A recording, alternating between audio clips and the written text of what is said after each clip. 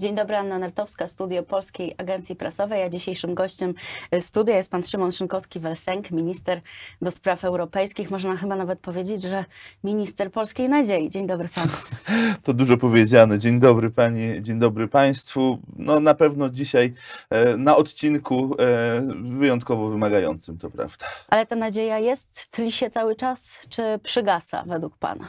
Przede wszystkim jest zadanie do zrealizowania. Zadanie, które mm, powierzył mi premier Mateusz Morawiecki, aby zrobić wszystko, aby dzisiaj ważna kwestia z punktu widzenia interesów Polski, czyli pozyskanie około 100 miliardów złotych rocznie na najbliższe lata dodatkowo do polskiego budżetu, pieniędzy, które jeśli będą w polskim budżecie, no to będą też e, mogły służyć różnym celom, nie tylko wprost tym projektom KPO, ale przez to, że wydamy je właśnie na te projekty, no to pieniądze te dodatkowe, można powiedzieć, które uzyskamy dzięki temu, będzie można między innymi na przykład wydawać na e, zbrojenia, na modernizację polskiej armii. Jeżeli tych pieniędzy z KPO nie będzie, to część tych pieniędzy trzeba będzie przeznaczać na inne cele dzisiaj znajdujące się w polskim budżecie. Więc to jest ważny element, szczególnie w kontekście najtrudniejszej zimy od dekad. E, jesteśmy w przededniu najtrudniejszej zimy od dekad, wysoka inflacja w wielu krajach Unii Europejskiej, agresja rosyjska na Ukrainę uruchomiła szereg bardzo e, niedobrych procesów, które skutkują no, problemami w wielu obszarach, więc pieniądze się nam przydadzą.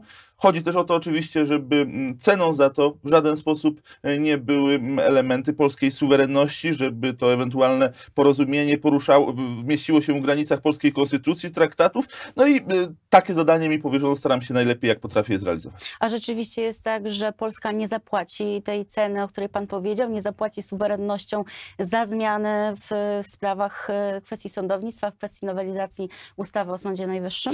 Dlatego te rozmowy trwały tak długo, e, mimo intensywnego tempa z naszej strony. Po stronie Komisji Europejskiej to tempo było nieco mniejsze. Dopiero w ostatnich dniach i tygodniach doszło do pewnego przyspieszenia, e, że dbaliśmy bardzo precyzyjnie, żeby granice polskiej konstytucji w propozycjach, które przedstawialiśmy Komisji Europejskiej, bo nie jest prawdą, że Komisja Europejska coś nam narzucała. Komisja Europejska wskazywała swoje wątpliwości, wskazywała swoje oczekiwania, natomiast my proponowaliśmy warianty rozwiązań rozwiązań, które były oceniane przez Komisję Europejską i dbaliśmy, żeby te warianty rozwiązań, które przedstawiamy, nie przekraczały e, granic ustrojowych polskiej konstytucji, ani granic traktatów, żeby też nie stanowiły zagrożenia dla suwerenności czy dla stabilności wymiaru sprawiedliwości. A więc wszędzie tam, gdzie wprowadzaliśmy rozwiązania, no na przykład dotyczące uszczegółowienia testu niezależności, bo takie rozwiązanie jest proponowane w projekcie ustawy, to jest, przypomnę, mechanizm już obowiązujący test niezależności wprowadzony ustawą prezydencką, bo część osób ma wątpliwości w ogóle co do tej instytucji, ale ta instytucja już obowiązuje w systemie prawnym. Tam, gdzie wprowadzaliśmy takie rozwiązania, dbaliśmy o to, żeby na przykład nie mógł z nich korzystać e, tylko pojedynczy sędzia, który uzna w pewnym momencie, że mógłby użyć tego instrumentu do zdestabilizowania e, funkcjonowania wymiaru sprawiedliwości. Więc to rozwiązanie jest odpowiednio ubudowane, może używać go tylko skład sędziowski, może tylko go używać w konkretnej sprawie. Jeżeli udowodni, że w konkretnej sprawie są jakieś wątpliwości związane ewentualnie z trybem powołania sędziego, to już dzisiaj jest rozwiązanie, które obowiązuje, które mogą mieć na wpływ e, na, na, na przebieg tej sprawy. I wówczas, jeżeli inny sędzia, czy inny skład sędziowski oceni, że tak by było, wówczas w konkretnej sprawie, trochę na podobnie jak jest dzisiaj ogólny przepis o wyłączeniu sędziego do danej sprawy, tego przepisu nikt nie kwestionuje, to wówczas taki test niezależności też w konkretnej sprawie może do tego prowadzić, ale na pewno nie może być wykorzystywany do tego, żeby wprowadzić turbulencje do funkcjonowania wymiaru sprawiedliwości. Pan prezydent, e, chce pan powiedzieć, że pan prezydent demonizuje demonizuje sprawy związane z ustawą, e, nowelizacją ustawy o Sądzie Najwyższym? Nie, e, tak nie uważam. Pan prezydent e, ma wątpliwości jako prezydent Rzeczpospolitej powołany do tego, żeby bronić granic konstytucyjnych i żeby też dbać o prerogatywy prezydenckie. I nawet powiem szczerze, że ja uważam, że pan prezydent ma pełne prawo te wątpliwości nie tylko mieć i wyrażać, ale też wprost dzielić się nimi, wskazywać, że mogą być one problematyczne. Moim zadaniem jest wychodzić naprzeciw tym wątpliwościom, wyjaśniać je ewentualnie tam, gdzie jestem przekonany, że, a jestem właśnie co do tego projektu przekonany, że on nie narusza prerogatyw e, prezydenckich. Natomiast jeżeli te wątpliwości pana prezydenta e, prowadziłyby do tego, że nie byłbym w stanie, że tak powiem, usunąć no, swoimi wyjaśnieniami e, właśnie ewentualnych zastrzeżeń głowy państwa, no to będziemy oczywiście wtedy się zastanawiać, jaki dalszy bieg tej sprawy przyjąć. Na razie jesteśmy w procesie bardzo konstruktywnego dialogu. Pan prezydent, z którym spotkałem się w piątek, wykazał dużą otwartość na dialog, jednocześnie szczerze dzielił się swoimi wątpliwościami. W tym tygodniu kontynuujemy rozmowy z prezydenckimi ministrami. Jestem przekonany, że panu prezydentowi zależy na tym, żeby dojść do rozwiązania, które pozwoli nam uruchomić środki z Krajowego Planu Odbudowy. A to jest najważniejsze, bo ten cel nas łączy. Rzecznik rządu Piotr Miller powiedział, że przeprasza prezydenta, że należą mu się przeprosiny za to, że negocjacje e, nie zostały w należyty sposób przesunięte w kierunku Pałacu Prezydenckiego. Pan też uważa, że powinien przeprosić głowę państwa? Ja nawet przeprosiłem pana prezydenta e, za to, że e, nie czuł się w wystarczający sposób informowany i konsultowany, jak chodzi o ten projekt ustawy. Ten etap, wydaje mi się, tymi przeprosinami zamknęliśmy. W tej chwili jesteśmy na etapie intensywnego dialogu z panem prezydentem i robię wszystko, żeby pan prezydent miał pełen przegląd po pierwsze co do procesu negocjacyjnego, temu służyło spotkanie w piątek, także co do intencji, jakie stały za poszczególnymi rozwiązaniami projektu e, ustawy i oczywiście jesteśmy do dyspozycji do wyjaśniania wszelkich wątpliwości pana prezydenta. E, jakie jest według pana źródło, powiedzmy sobie, chaosu w sprawie, o której rozmawiamy? Bo z jednej strony mamy pana zapewnienia, z drugiej strony mamy takie wypowiedzi jak e, ta Jarosława Kaczyńskiego, który powiedział, że chociaż oczywiście te zapisy ustawy dotyczące Sądu Najwyższego pomogłyby Polsce otrzymać pieniądze z funduszów unijnych, to jednak miałyby zły wpływ na ustrój państwa i, i mogłyby wprowadzić korzystne zmiany. Są oczywiście wypowiedzi z środowiska Solidarnej Polski, gdzie leży problem, że konsensusu w tej sprawie nie ma i jak się wydaje z łona także Prawa i Sprawiedliwości, koalicji rządzącej, ten przekaz nie jest jednolity. No, ten projekt ustawy jest efektem pewnego kompromisu kompromisu, który jest kompromisem niełatwym. E, te zapisy ustawy rozumiem, że nie wszystkim e, mogą się e, podobać.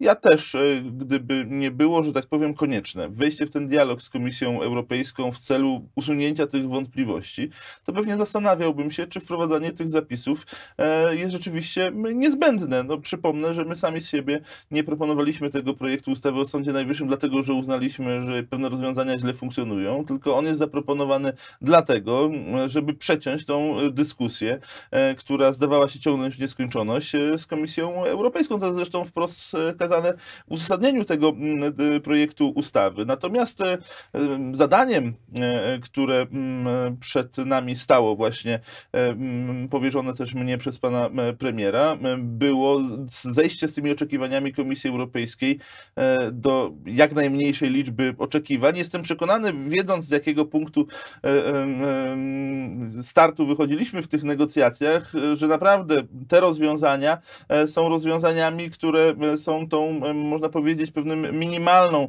ceną, którą warto w mojej opinii ponieść w rozmowach z Komisją Europejską, po to, żeby zamknąć dyskusję o wypełnieniu kamienia milowego wymiar sprawiedliwości, żeby pójść dalej, wykonać ten krok w kierunku dodatkowych 100 miliardów złotych z Krajowego Planu Odbudowy w przyszłym roku i w kolejnych latach. A nie ma pan, pan poczucia pewnej niekonsekwencji? Bo z jednej strony e, Jarosław Kaczyński mówił o tym, że mm, już kilka miesięcy temu, że ten kurs wobec Brukseli będzie twardy, twardy jednoznaczny. Marszałek Elżbieta Witek, marszałek Sejmu Elżbieta Witek powiedziała, zresztą komentując e, sprawę nowelizacji ustawy, powiedziała, że jesteśmy suwerennym państwem, równoprawnym z każdym innym członkiem Unii i z tego względu nie będzie nam Bruksela pisała ustawy w polskim Sejmie. To jak to jest, że przywozimy jednak ustawę z Brukseli i się nad nią pochylamy.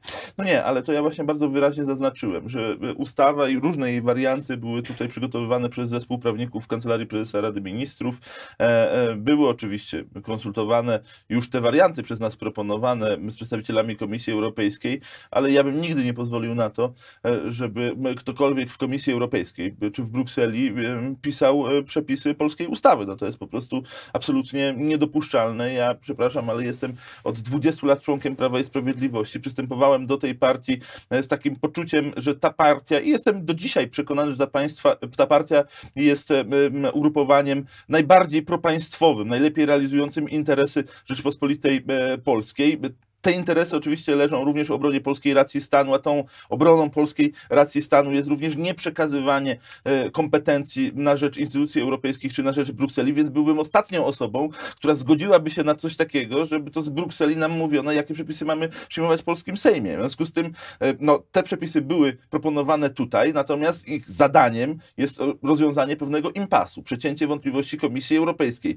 Dlatego musieliśmy po stronie Komisji Europejskiej uzyskać zapewnienie, że jeżeli te przepisy zostaną przyjęte, to rozwiążą problem. No takie było też zadanie, żeby nie powtórzyła się sytuacja z przeszłości, kiedy rozmaite propozycje wydawało się mm, spełniały oczekiwania Komisji Europejskiej, po czym przyjmowane nie rozwiązywały problemu. E, tutaj mamy zapewnienie ze strony Kolegium Komisarzy, czyli całej Komisji Europejskiej, że jeżeli e, ten projekt ustawy zostanie e, przyjęty bez znaczących zmian, to rozwiąże problem wypełnienia kamienia milowego wymiar sprawiedliwości. Taki był cel tych negocjacji, on został wypełniony.